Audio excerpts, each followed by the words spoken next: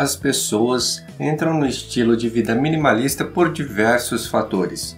Algumas por causa do dinheiro, outras porque querem sair do paradigma comum, do senso comum, mudar a forma de pensar, né? abrir sua mente. Outras porque querem mais organização nas suas vidas, nas suas casas e assim por diante.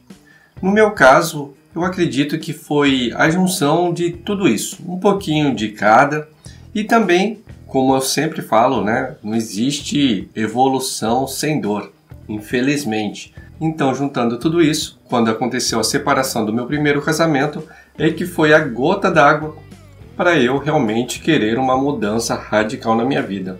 E conforme eu fui fazendo a mudança, eu fui identificando naturalmente que eu estava fazendo uma mudança para um estilo de vida minimalista. E por isso, hoje vou te passar seis razões pelas quais eu gosto muito de viver esse estilo de vida, né? O estilo de vida minimalista. Se você gosta desse tipo de assunto, basta escrever Vida Leve nos comentários que eu vou entender e criarei novos conteúdos como esse para você.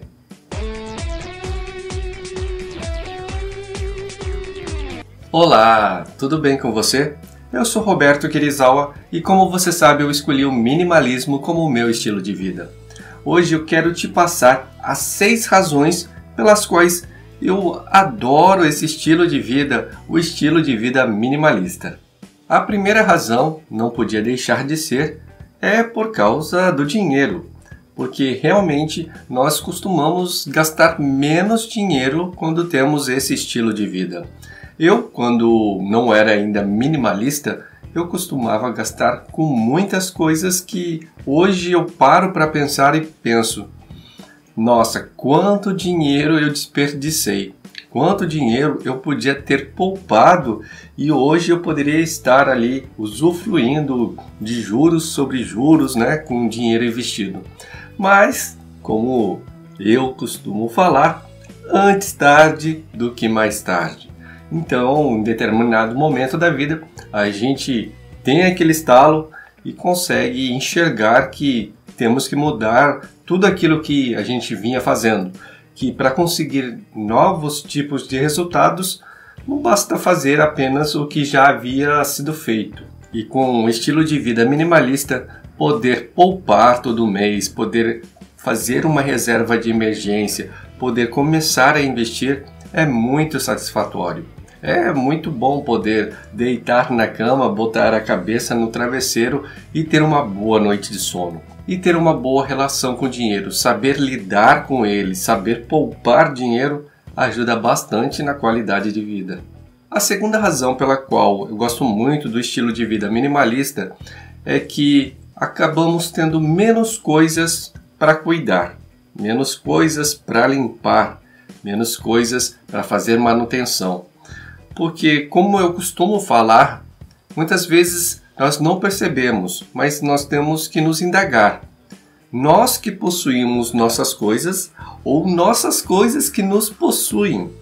Porque é tanto trabalho que elas geram que muitas vezes nós é que estamos trabalhando para elas. Não são elas que estão trabalhando para a gente. Então, para uma coisa entrar na nossa vida, ela realmente tem que valer a pena ela tem que ter um propósito para estar ali na nossa vida. Ela tem que ter efetivamente alguma funcionalidade.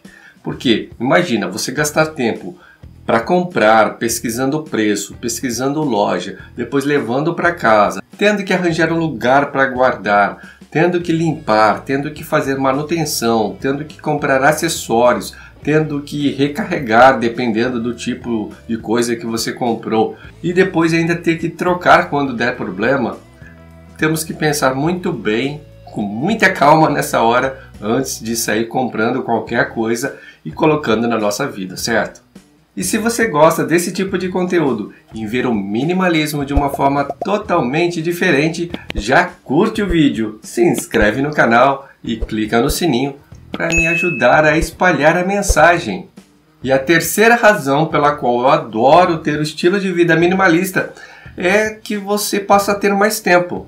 Imagina, você já está comprando menos coisas, menos coisas para cuidar, para fazer manutenção, para limpar, e aí então começa a ter mais tempo para si. Com esse tempo que começa a aparecer, você pode usufruir mais da sua vida. Pode realmente deixar entrar coisas que são essenciais, coisas que realmente devem se encaixar ali no seu período de tempo que você tem para desfrutar. Por exemplo, fazer um hobby, né? fazer uma caminhada que é para cuidar da saúde. Começa a entender que deve tomar cuidado com vários pontos e áreas da vida. E aí você começa a se dar o luxo, entre aspas, né, de ter novas experiências, fazer aquele curso de violão, aquele curso de canto, aquele curso de teatro, coisas assim, sabe, que você tinha vontade de fazer, mas não tinha tempo para isso, ou muitas vezes também não tinha dinheiro para isso. Então você começa a passar a ter tempo e ter dinheiro para poder usufruir melhor da sua vida, para conseguir ter novas experiências. E aí você vai percebendo que as experiências valem muito mais do que a posse de coisas. E a quarta razão pela qual eu adoro o estilo de vida minimalista é quanto ao relacionamento. Eu comecei a prestar mais atenção no que é importante no relacionamento, no que temos que fazer para um relacionamento duradouro, um relacionamento que haja cumplicidade, um relacionamento onde haja troca, onde um pode dar o melhor para o outro e desta forma os dois se melhorarem, os dois se evoluírem em conjunto, um apoiando no outro. Porque conhecimento e amor são coisas que realmente a gente dá e nunca fica com menos. Imagina só, duas pessoas se encontram e cada uma tem um conhecimento. Conhecimento X, conhecimento Y.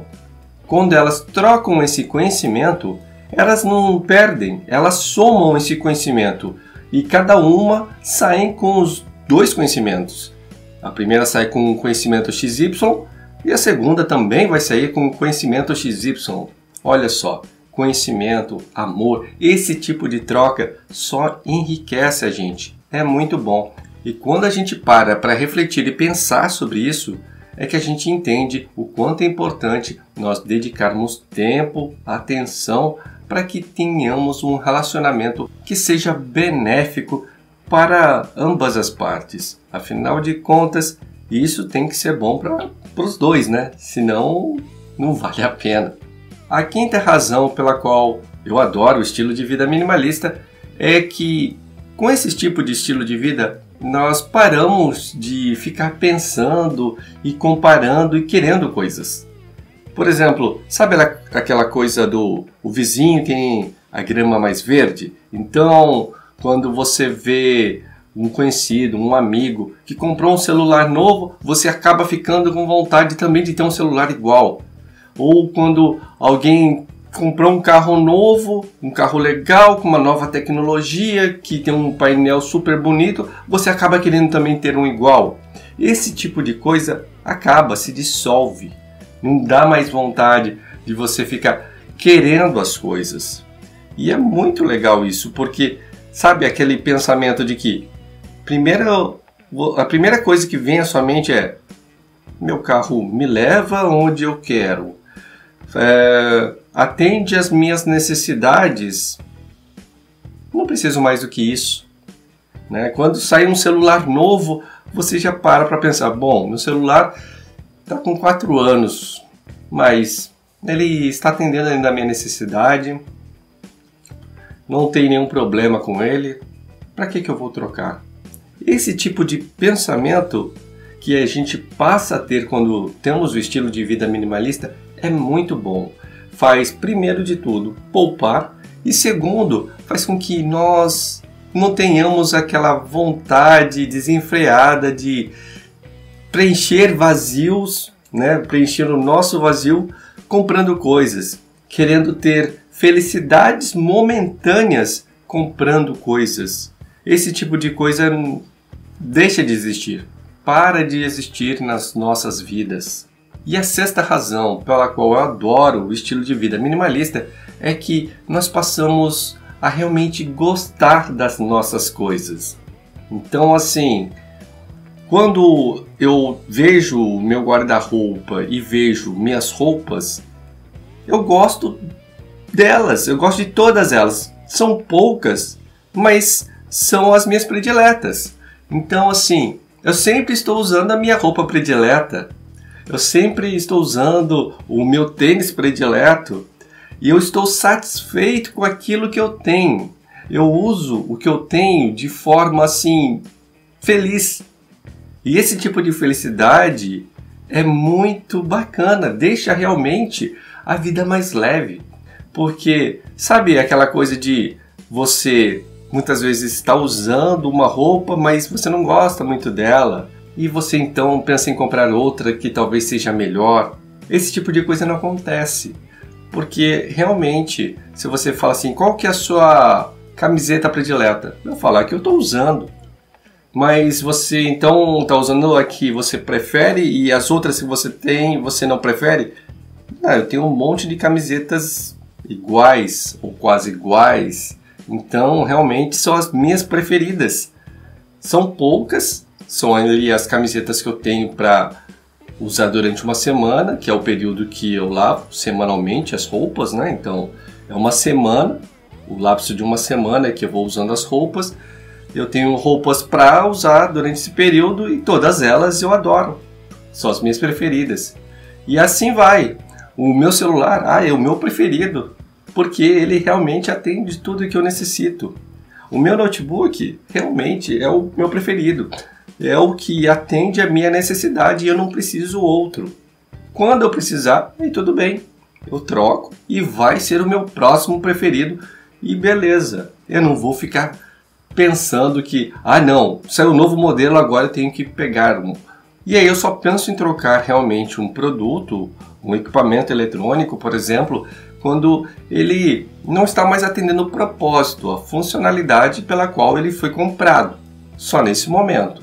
Porque fora isso, não tem mais essa necessidade nem a vontade de estar sempre atualizando, sempre comprando coisas novas. E por fim, ter um estilo de vida minimalista é muito bacana porque, com tudo isso que eu falei, faz a gente no dia a dia cada vez mais pensar, se questionar, refletir e começar a se entender um pouco melhor.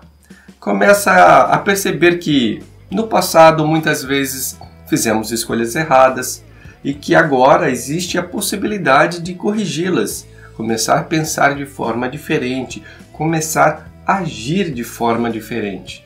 Tudo isso é muito legal porque a grande batalha de cada um deve ser melhorar um pouquinho a cada dia. Cada dia ser uma pessoa melhor e não ficar se comparando com outros. Ah, aquela pessoa conquistou aquilo, tem sucesso naquilo, ganha tanto, tem tanto de dinheiro.